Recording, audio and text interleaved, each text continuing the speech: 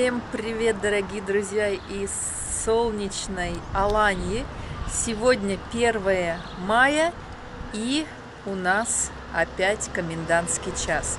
Три дня комендантский час, пятница, суббота, воскресенье с 1 по 3 мая.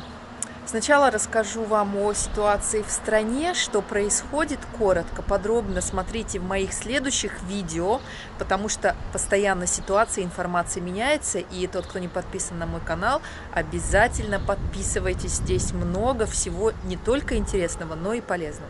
В общем, о ситуации в стране на 1 мая. Каждые выходные у нас комендантский час, и ходят слухи о том, что ближе к концу мая у нас будет комендантский час целых 9 дней. Комендантские часы до конца мая на выходных у нас продолжатся. Если говорить о туризме, то э, Разрабатывается программа постепенного выхода из э, кризиса, скажем так, из этой ситуации, из карантина. И разрабатывается программа так называемых э, паспортов здоровья, как отели будут принимать иностранных, так и местных туристов. И все это планируется уже к середине июня. Но помните, я делала видео о том, в какие даты компании турецкие и российские собираются запускать рейсы. Так вот, в том видео турецкие авиалинии планировали запустить рейсы международные 20 мая. Эта дата уже перенесена на 28. И я всегда вам говорю о том, что, пожалуйста, следите за датами на официальных сайтах авиакомпаний, официальных сайтах э, министерств вашей страны и так далее. Поэтому все, э, все, все очень-очень приблизительно. Если говорить о ситуации с медициной, многие спрашивают о количестве заболевших и так далее. Я всегда говорю, что эта информация доступна на сайте Министерства здравоохранения Турции и так далее. Информации конкретной по городам как таковой нет. Но если говорить о медицине в Турции и об обеспечении больниц, медицинского персонала, всех нас масками, а особенно обеспечении больниц и врачей масками, различными защитными необходимыми халатами и так далее, об обеспечении э, препаратами искусственной вентиляции легких, с этим в Турции проблем вообще никаких нет. Производство, и э, производство идет каждый день, и врачи говорят о том, что главврачи больниц, о том, что на ближайшую неделю склады заполнены, и никаких с этим проблем нет. И у меня возникло такое ощущение, что Турция, наверное, единственная страна, в которой нет проблем, особенно для медицинского персонала, что очень важно в больницах, проблем с обеспечением защитными материалами вообще никаких. На данный момент у Турции запросили помощь 104 страны, и более 50 стран уже получили эту помощь, вот как раз в виде э, в виде масок и различных принадлежностей для обеспечения защиты медицинского персонала для больниц. Многие заводы, которые производили, например, машины или э, бытовую технику, перешли на производство как раз э, аппаратов искусственной вентиляции легких и того, что необходимо в больнице. Поэтому в Турции с этим никаких проблем нет. И Турция всегда была знаменита своим качеством больниц и качество медицинского обслуживания, потому что тысячи иностранцев каждый год приезжают сюда на лечение, операции, реабилитацию и так далее. Вот, друзья, это то, что касается ситуации в стране. А, то, что касается ситуации в Алании, как вы видите, на улицах тихо, спокойно. Погода очень хорошая. Вчера было немножко пасмурно. И, кстати, вчера мы снимали очень классное видео в крепости Алании для одного из крупных э, новостных агентств э, Турции Анадолу Ажанс. Оно выйдет на следующей неделе, когда выйдет сам сюжет.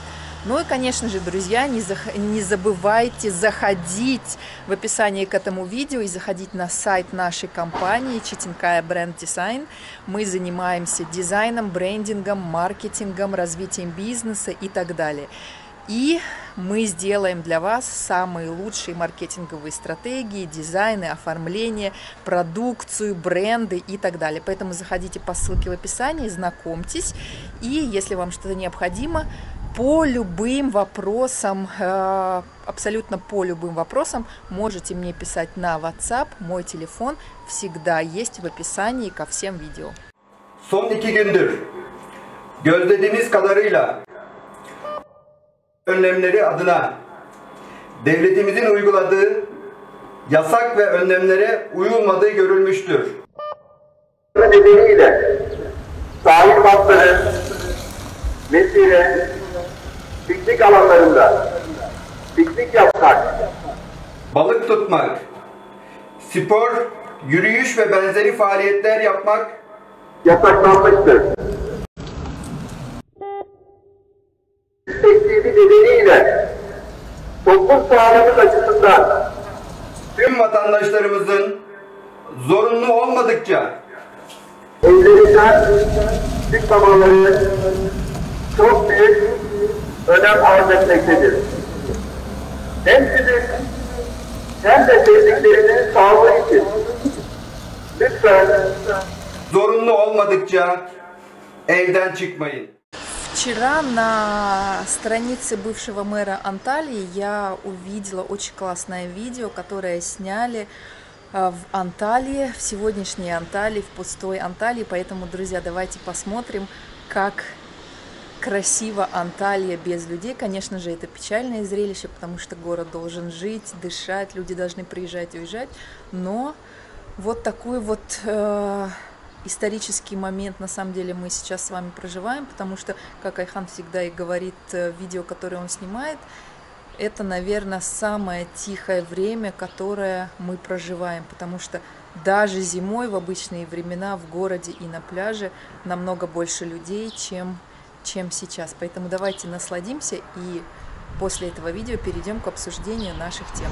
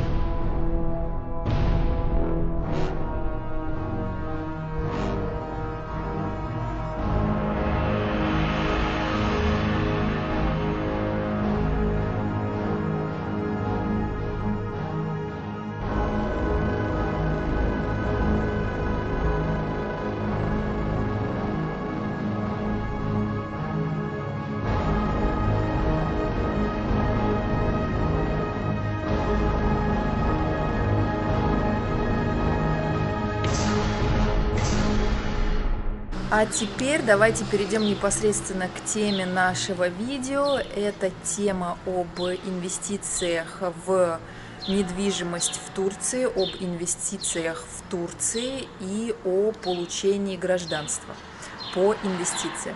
Друзья, я прошу вас обязательно внимательно смотрите это видео.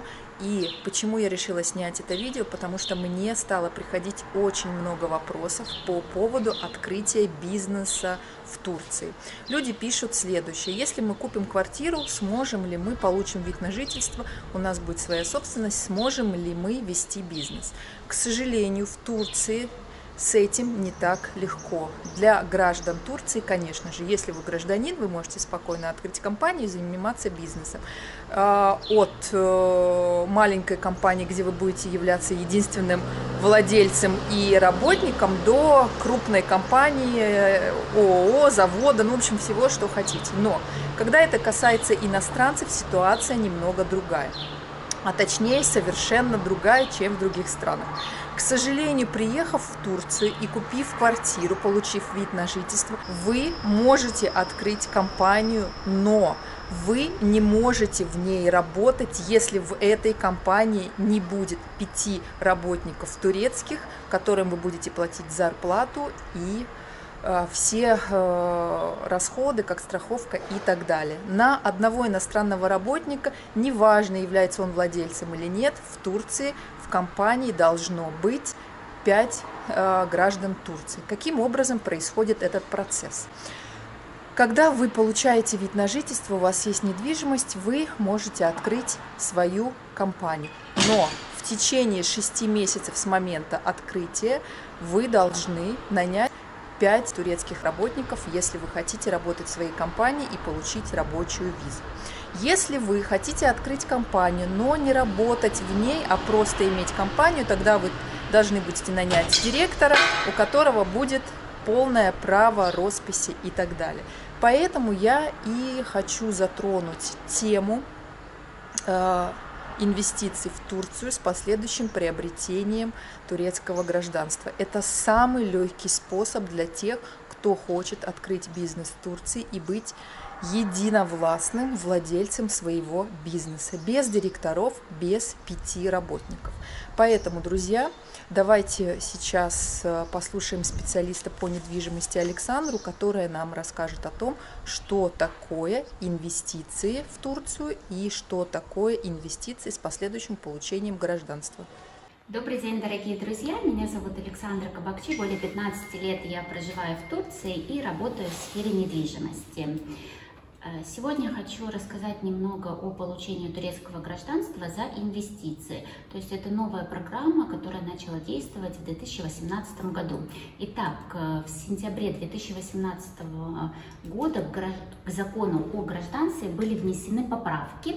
И согласно этим поправкам э, можно претендовать на получение кимлика турецкого гражданства при покупке недвижимости на сумму 250 тысяч долларов или или при а, вкладе в турецком банке 500 тысяч долларов. То есть, проще говоря, вы можете открыть депозитный счет э, в турецком банке, положить туда 500 тысяч долларов, Три года этот вклад нельзя будет снять, но вы можете получать проценты по вкладу. Или вы можете купить недвижимость на 250 тысяч долларов. После получения такого свидетельства о собственности подаются документы. Недвижимость в течение трех лет не может быть продана, накладывается обременение в кадастровом управлении. Но этой недвижимостью вы можете пользоваться, вы можете сдавать в аренду. В течение, после истечения трех лет вы можете что угодно с этой недвижимостью делать. Каковы же условия получения гражданства по недвижимости или по инвестициям? Существует несколько вариантов, как от вложения денег в банк определенной суммы, так и э, покупка недвижимости на сумму 250 тысяч долларов. Это может быть одна единица или несколько. Например, одна большая квартира вилла или несколько квартир вилл, которые в сумме будут составлять 250 тысяч. Но здесь очень важно э, очень важно не пропустить тот момент, что не вся недвижимость подходит под эти критерии. Поэтому обращайте на это пристальное внимание. Какая недвижимость подходит под условия получения гражданства при инвестировании. Это очень важно, чтобы не было в дальнейшем вопросов, когда вы приобрели квартиру, а она, квартиру или какую-то другую единицу, а она не подходит под эти критерии. И сейчас Александра как раз нам расскажет об условиях приобретения недвижимости под, э, как раз под получение э, турецкого гражданства. Э, ну, есть э, некоторые нюансы, на которые я бы хотела обратить ваше внимание. Что за нюансы? Во-первых, как я уже сказала, три года не может быть продана недвижимость. Во-вторых, недвижимость необходимо приобретать у турецкого собственника. Это или юрлицо, или физлицо. То есть, если вы найдете прекрасную виллу у иностранного продавца, приобретете, э, пользоваться этой программой вы не сможете. Э, дальше. Вся оплата должна быть официально через банк на счет продавца.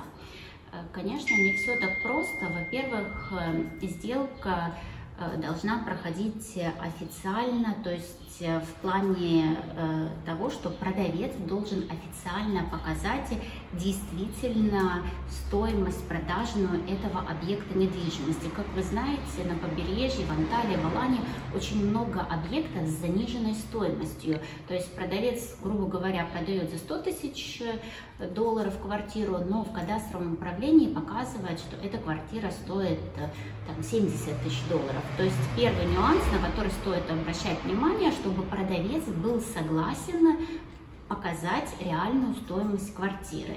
Это не все делают, так как, соответственно, и налоги будут, ну, много всяких нюансов, поэтому на это обращайте внимание.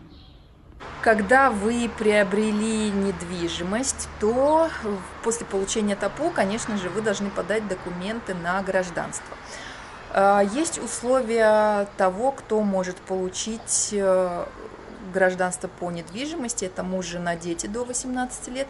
И, конечно же, когда вы начинаете оформлять недвиж... Э, гражданство по недвижимости, у вас должна быть экспертная оценка. Поэтому эксперты, как я уже сказала, эксперты должны оценить эту квартиру и посмотреть, подходит ли она по критериям для подачи на, на гражданство.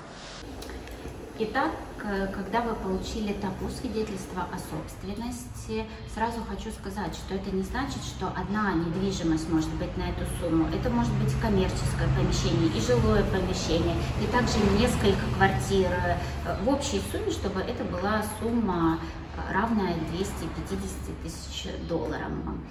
Э, после того, как вы начинаете сбор документов для гражданства, с кадастрового управления необходимо получить документ. Он называется Уйгулу Бельгеси, то есть это справка о том с кадастрового управления, что действительно ваша недвижимость соответствует Э, такой-то сумме. То есть вы приобрели недвижимость действительно на эту сумму, а не на меньшую.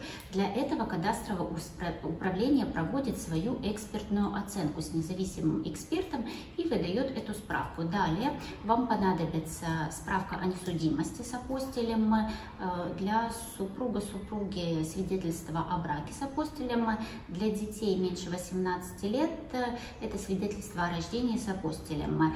Э, родители, ваши родители или дети выше 18 лет э, по этой программе не могут претендовать. То есть ближайшие члены семьи, дети до 18 лет и родители. Когда вы собираете все документы, подаете их э, на гражданство как инвестор, то процедура занимает порядка 3-4 месяцев, может быть чуть дольше, но примерно 3-4 месяца вам придется подождать. И в дальнейшем вы получаете турецкий кемлик, э, вы становитесь гражданином Турции и сможете э, обладать всеми правами, которые обладают граждане Турции, в том числе и правом открытия бизнеса, становления индивидуальным предпринимателем. Почему это очень важно? Потому что являясь гражданином вы сможете открыть частную компанию, быть в ней единственным владельцем, ее контролировать и не нанимать, как я уже сказала, 5 работников, э, не получать рабочую визу, даже если вы являетесь владельцем компании.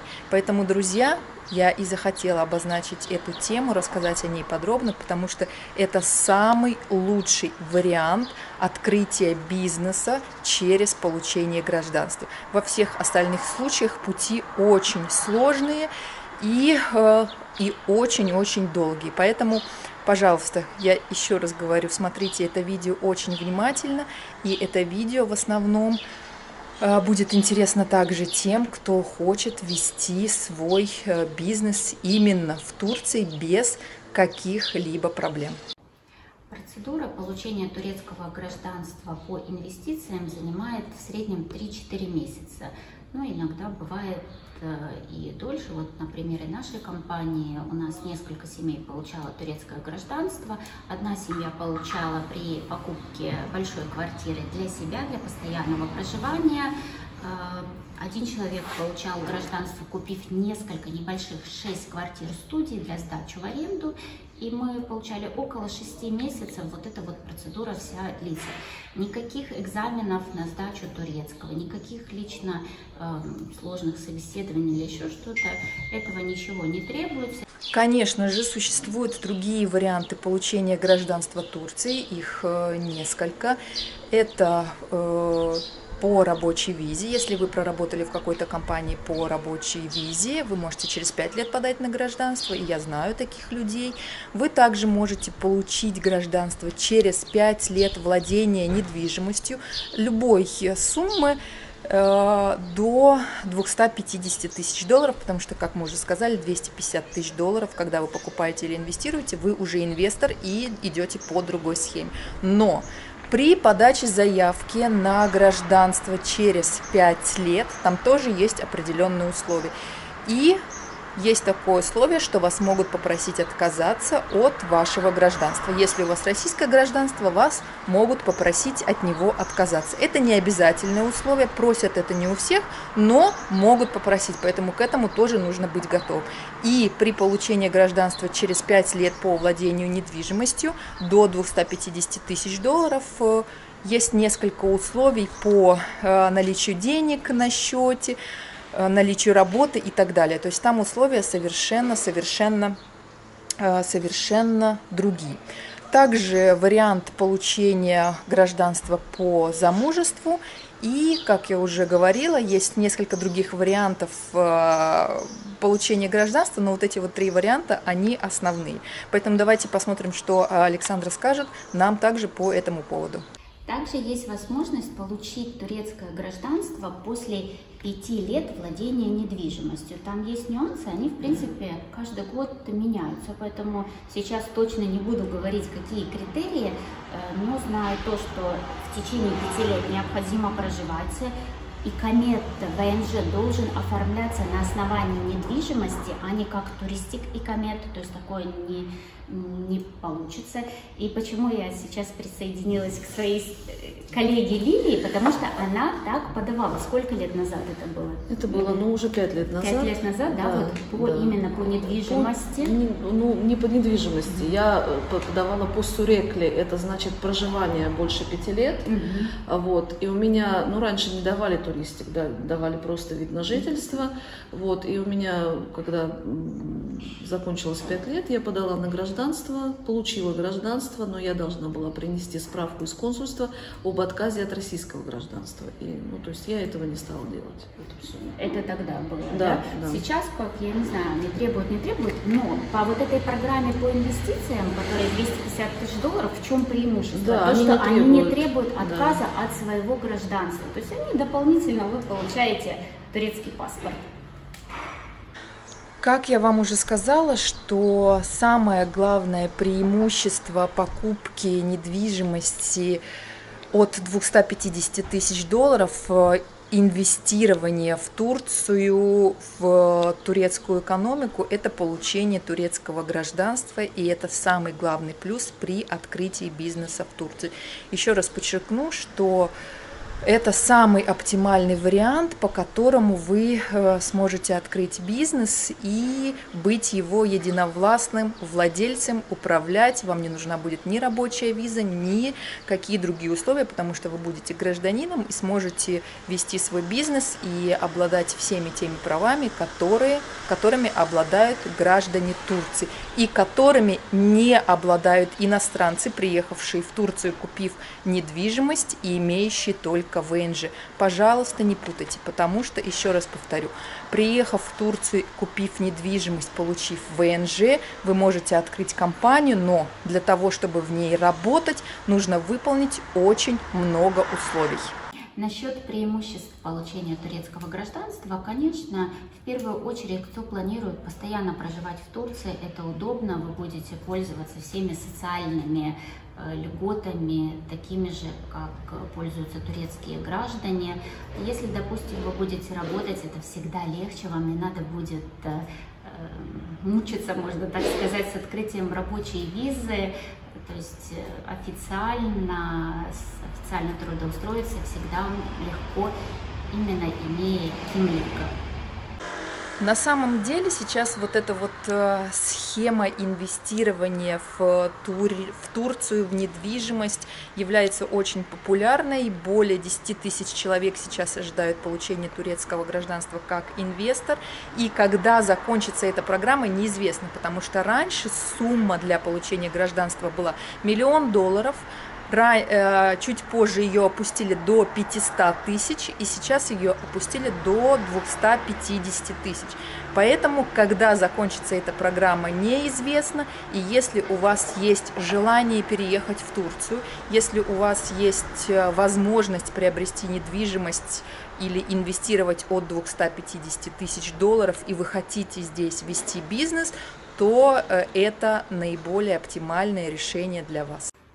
Согласно Турецкому институту статистики Тюркстат, до этого момента более 5000 человек сейчас в Турции, вот с конца 2018 года, получили турецкое гражданство именно за инвестиции, и 9000 человек сейчас на рассмотрение. То есть программой пользуются очень многие.